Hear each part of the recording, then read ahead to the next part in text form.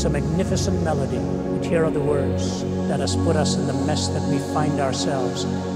Always pause long enough to find out why it was put there in the first place. And these inviolable sanctities were preserved in those ten words.